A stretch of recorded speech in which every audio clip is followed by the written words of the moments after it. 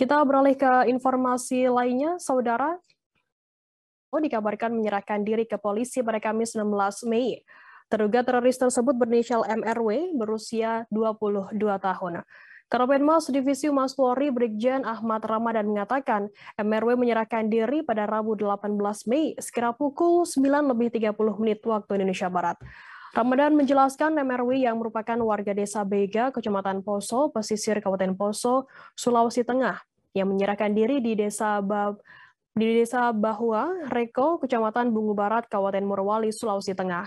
Ramadan mengatakan MRW terlihat terlibat dalam dua kali kegiatan, yakni melakukan idat atau pelatihan perang dan membayar diri ke ISIS. Penyerahan diri MRW ini kemudian membuat DPO MIT Poso hanya dua yang tersisa.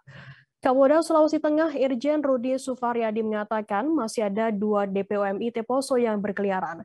Ia meminta kedua DPO tersebut segera menyerahkan diri. Dua DPO yang tersisa adalah Askar alias Jahit alias Pak Guru dan Nai alias Galuh alias Muklas.